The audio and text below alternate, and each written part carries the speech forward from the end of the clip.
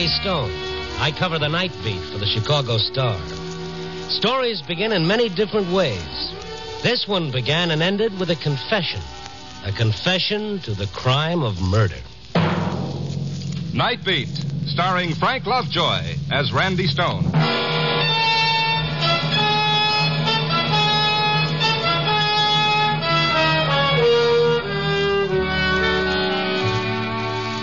You can't keep a finger on a city's pulse without having some of its sweat and tears rub off on you. But sometimes the difference between turning a corner or going straight ahead, opening a door or passing it by, is all that separates safety from danger, horror from happiness, or life from death. Tonight, the difference lay in whether I should or should not get a shave before starting on my nightly tour of duty. I decided on the shave. Usually I go to a barber shop on the fifth floor of the Conway building in the heart of the loop. By the time I got there, however, it was after six and the elevator operators had all gone. Two of the lifts were still operating on a self-service basis, so I got in one and pushed the button for the fifth floor. The elevator was almost to the fourth floor level when a sudden yelling drew my attention to the little window in the elevator door.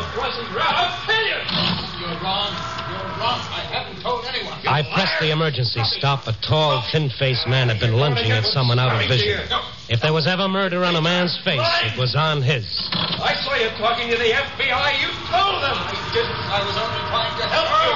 I brought the elevator down to the floor level without stopping to think what I might be getting myself into. When the doors opened, I saw them rolling around the corridor ahead in a desperate struggle. The tall man was on top, his left hand flailing at the other's face with a briefcase, while with his right he was trying to drive a long, thin blade into the other's chest. Help! Don't holler, please. Hey, drop that knife! The human beanpole saw me coming and scrambled to his feet. So he told you too, huh? He told you. Look, pal. I'll kill him. Take it easy. Take your hands off me. I'll kill you. He slashed at my face as I threw up my arm. The point of his blade snagged in my sleeve and jerked out of his hands. He darted for the elevator, and I ran after him in the best tradition of Frank Merriwell saving the game for dear old Yale. My form may have been all American, but my flying tackle was all wet. His heel caught me in the head, and I fell on my face, lost in the stars.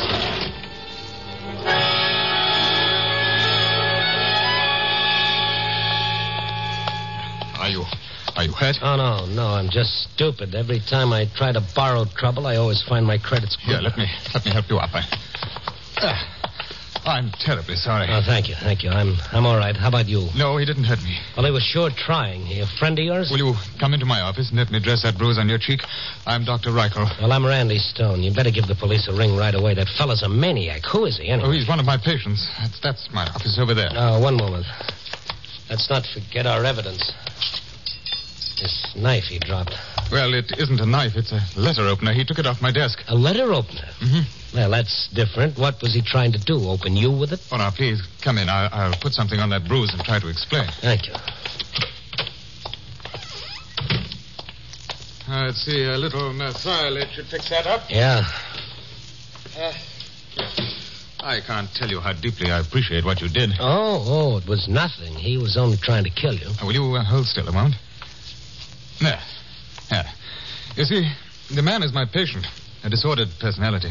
Are you an alienist, Doctor? Uh, yes, my field is psychiatry. From what I saw, your patient is more than a disordered personality. He's a homicidal maniac. And I'm Mr. Stone. Well, aren't you going to call the police? Or do I have to? Oh, please. No, what happened was just an accident. An accident. This hole in my sleeve wasn't made by Moz, Doctor. He tried to knife me, too, remember? Well, only because he identified you with me. Now, it's not too unusual in a case of this sort for a patient to transfer his persecution complexes against the doctor who is treating him. Oh, yes, but. But uh, what happened tonight is entirely my fault. I was so encouraged over certain other developments that I overlooked the extent of his immediate hysteria. So, uh, what happens if he comes back and kills you? Do you uh, get a medal? No, he won't try. Not again. I can assure you. But all I ask is that you don't report this incident. To have him arrested would destroy my chances of curing the poor fellow. Now, you won't, will you? Well, oh, uh, okay, Doc. You probably know what you're doing, I hope. Who is he, anyway? What's his name? Ah, now, Mr. Stone, please. I'm sorry. okay, Doc. They say a guy is only as big as the things that annoy him. And he's kind of tough when the annoyance is six feet four and has a knife that makes him even bigger.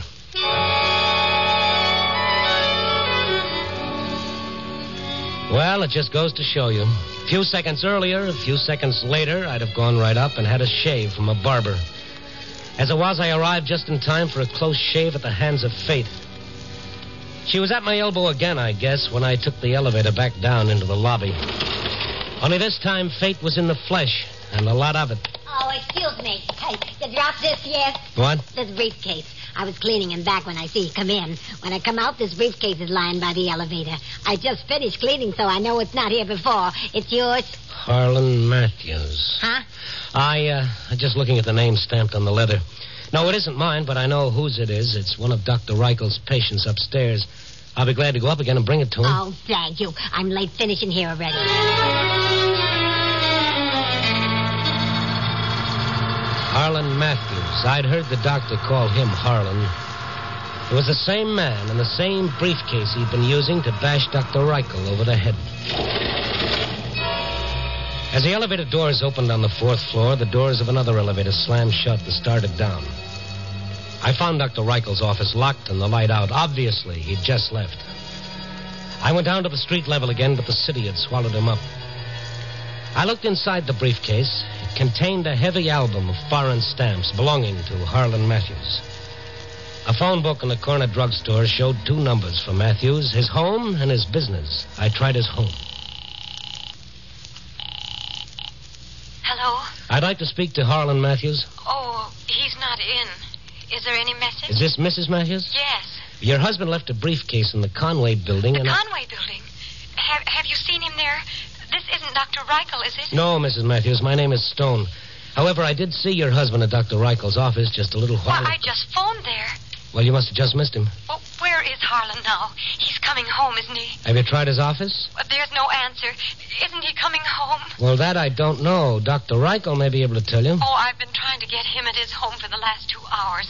He never keeps his office open this late. I just called him on the bare chance that he might be there. Oh. Uh, Mrs. Matthews, why does your husband hate Dr. Reichel?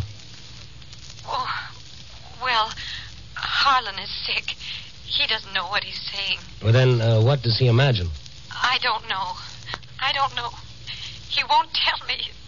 It's since the war. It's something to do with the war, something that happened. I don't know what it is.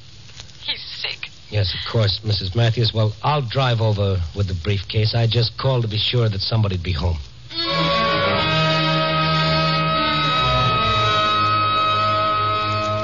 The Matthews lived in a small apartment on the north side.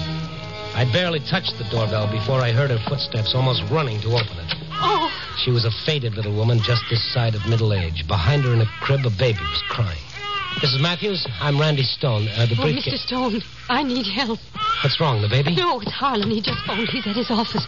The way he talked, I think he's going to kill himself. Please, you're a friend of his, aren't you? You've, you've just got to stop him. All right, where's your telephone? Wh- Why? Well, the police can get to him a lot quicker than we Oh, can. no. No, he warned me that if I sent Dr. Reichel to the police, he'd kill them and himself. Well, okay then, let's go. Oh, my baby. If we're not too late already. Oh, I can't. I can't. My baby is so sick. I just can't leave her. I can't. All right, Mrs. Matthews, it's all right. You stick here. I'll handle it.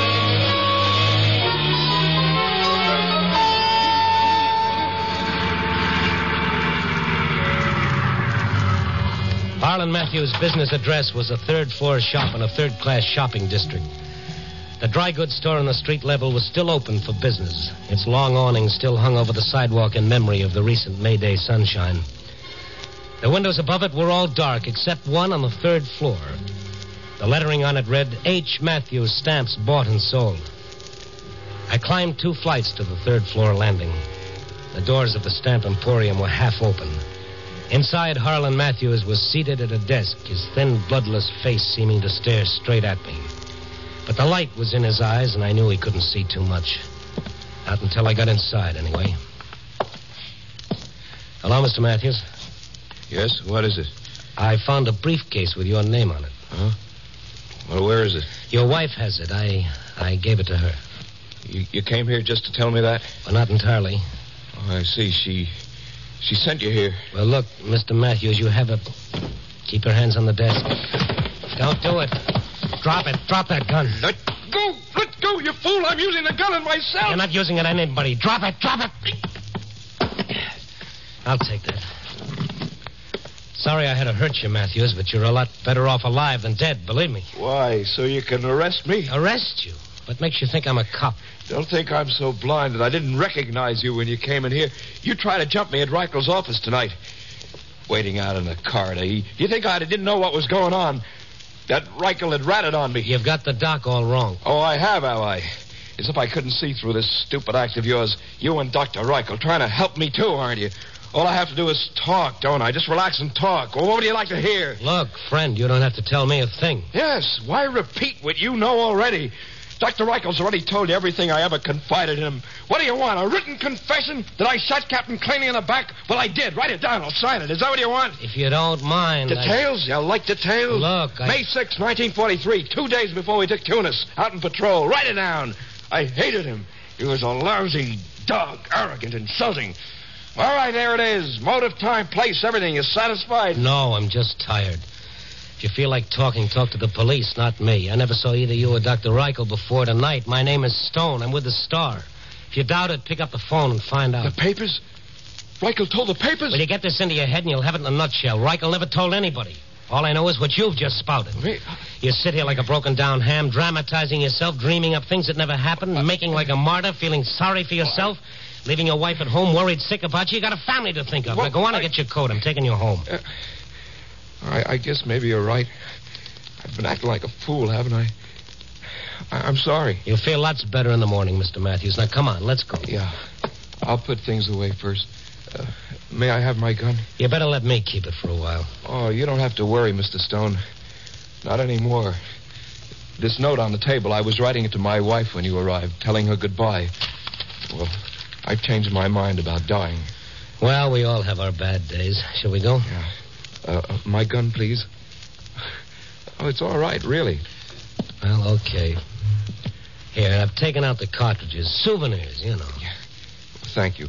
I'll, I'll put away these catalogs. Uh, would you mind closing that window for me?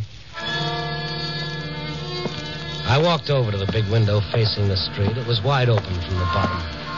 I reached up to close it just as a soft footstep sounded close behind me. Try to And Matthews me, pushed me over the sill toward the street below.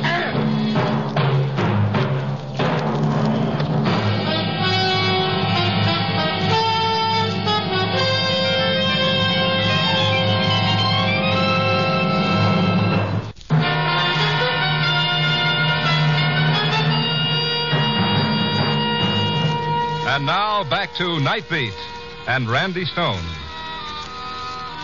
Life, they say, is a continual process of getting used to things we hadn't expected.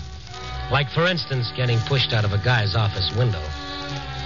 I hadn't figured Harlan Matthews was that far off the beam, but that, of course, was my fault. From a character as neurotic as Matthews, I should have expected anything. Uh, I guess I was out more than a couple of minutes because when I came to, a cop had evidently just arrived on the scene. Voices crowded through my head against a backdrop of pain. I stared up at the moon shining brightly through a huge rip in the awning, and I tried to push myself up to a sitting position. The cop bent over me. Easy now, easy. I'll call an ambulance. Wait a minute, wait a minute. Get Matthews. Who? Harlan Matthews, stamp dealer, third floor. He pushed me. Matthews, huh? Just wait here.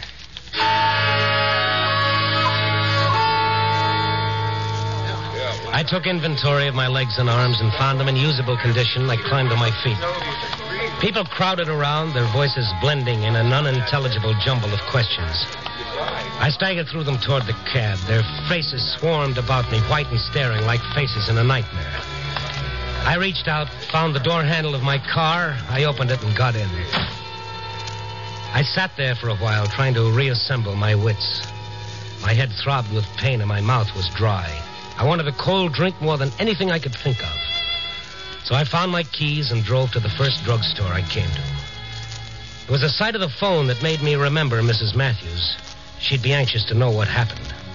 I had to tell her something. I rang her number. Hello? Mrs. Matthews, is Randy Stone. What happened? No, no, no. I got there in time. Oh, thank God. Where is he? Well, I thought he'd be home by now. But he isn't. When did he leave? Not long ago. Well, when you left him, was he all right? Oh, yeah, he was just swell. You ought to see me. What? I'll tell you what. I'll call Dr. Reichel right now and tell him the situation. He should be. Oh. I got a call from Dr. Reichel just a little while ago. Yeah? That is, it came through a message service. They want Harlan to call Dr. Reichel right away. I called the doctor's office to find out why, but the doctor's not there. He's not at home either. Well, why does Reichel want to see him? Didn't they tell you? No. The message just said that it was very important.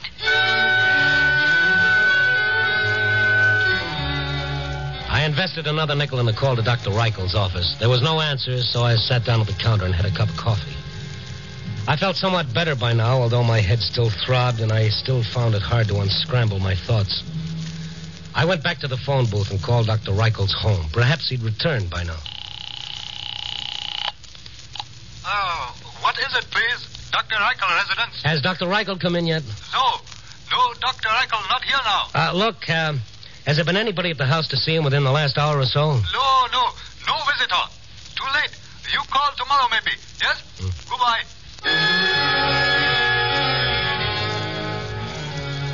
I checked with Mrs. Matthews once again to see if Matthews had returned yet. He was still missing.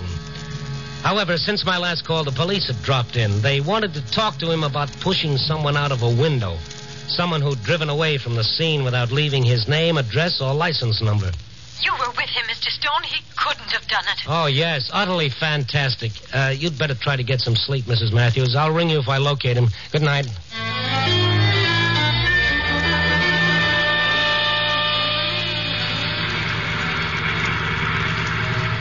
Headed out toward Dr. Reichel's residence on the northwest side, wondering just how foolish I was not to send the police out instead. Matthews did more than just pass from mania to depression. He'd made the round trip. The doc had been looking for him, but now he could be looking for the doc. I stepped on the gas.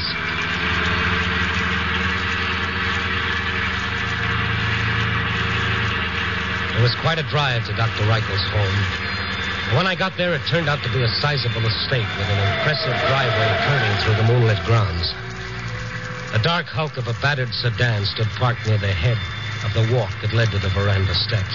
I pulled up behind it. I got out, and I gave it the once over. I touched the top of the radiator. It was still warm. A parade of maples lined the paved walk. Ahead, the house stood dark and still. I lifted my hand to the doorbell. Don't. Uh, well, hello, Matthews. Kind of thought you might be around. What are you doing here, Mr. Stone? And when I hit the pavement, I kept bouncing until I finally landed out here. I hardly expected to find you quite the same as when I left you. Oh, I'm not. I'm smarter. Next time I get that gun you're holding, I'll know enough not to give it back to you. Next time? There isn't going to be a next time, Mr. Stone. Not for you or for your Confederate, the doctor. Mm, yeah, of course, uh, you could be faking. I took the cartridges out of that thing once. Yeah, so you did. I might have forgotten to reload it. Why don't you try to take it away from me and find out? Well, come on. Is it loaded or isn't it? Make me show you. Well, uh, if I did, it might arouse the neighborhood, don't you think? You might not be able to hang around here waiting for Dr. Reichel. Yes, Mr. Stone, I've already thought of that, or you'd been dead by now. Unless, of course, the gun isn't loaded. I'm willing to let you force me to show you. All you have to do is take one step toward me. Just one step, Mr. Stone. One single step. And you'll know the answer. Before I do, maybe you could give me some other answers. Answers to a few things I still don't understand. Indeed? What, for instance? Well, for one thing, I still don't understand just what good it'll do you to kill either Dr. Reichel or me. You know the answer to that, you and him both. I wish I did. He said he was my friend. That it would help me if I talked, so I told him. Then I saw him talking to the FBI man at the federal building, and I knew I'd made a mistake, that he betrayed me. If he had, would you be free now? Figure it out. I have. They're just waiting to round up some witnesses who saw me shoot Captain Claney. You're wrong, Matthews. You're dead wrong. Reichel hasn't told anyone, anyone at all, and he never will. Same goes for me. I only wish to heaven that were true, because if it were, I'd never have a better reason for killing you than now before you do have a chance to talk. But unfortunately, I'll never be sure that you haven't talked. Well, kill me. There's one thing you can be sure of star billing in an execution party. Really? But right now, it's you who are the star, Mr. Stone. Or maybe this gun isn't really loaded after all. Come on, find out. Give me an excuse for pulling the trigger. There he comes. Back. Against the wall. Stay where you are. Right there. A cold wind rustled the maples as the big car came to a halt at the head of the drive. Hidden by the trees, its lights blinked out. By the veranda rail, a dozen feet away, Matthews crouched, gun raised. The trees hid whoever it was coming up the walk as the moonlight and shadow danced among the leaves. Come on, Reichel. Come on. Keep coming. Come on. Matthews. A little closer. A little closer. In another moment or two, his target would be out of the shadow of the trees into the bright moonlight. Matthews! Huh? Those men with him. Oh, where? Hiding among the trees, see? They're moving. Where? Where? There. That shadow there, and over there, and over there. Can't you see them? Yes, yeah, yeah. They're covering him. He knows you're here. I'll kill him. They'll get you first. You haven't a chance. No, no, no. Drop that gun. Drop it. They'll never get me. Never, never. He thrust the gun to his own head and pulled the trigger six times before he ever got to it. They'll never get me. Nobody.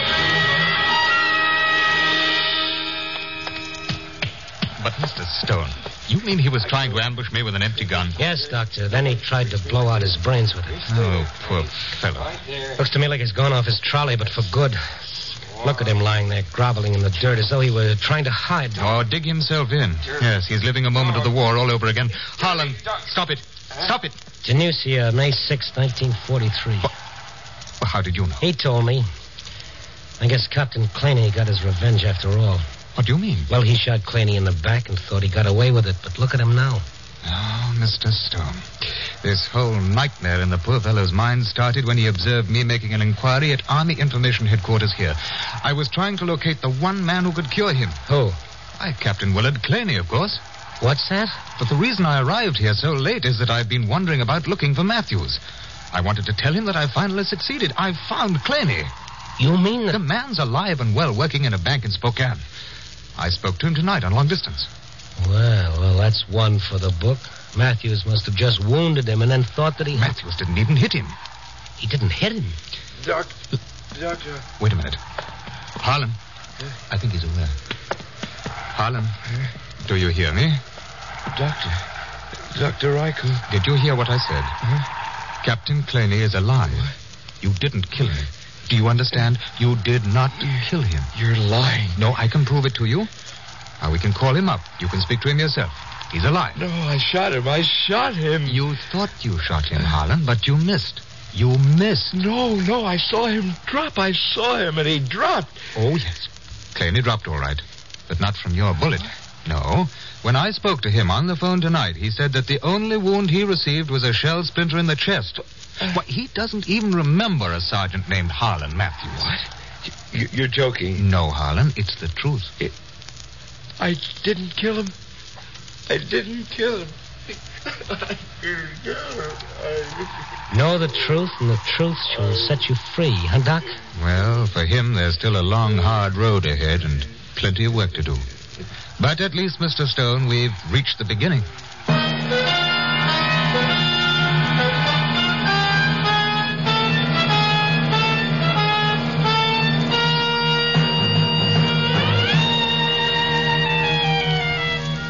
Well, dawn is just around the corner, and the city lights are going out street by street, like the lights in some people's minds. Yes, they say the truth is a great mental healer. And I guess it is, if you can bear to face it. okay, so let's face it. Copy, boy.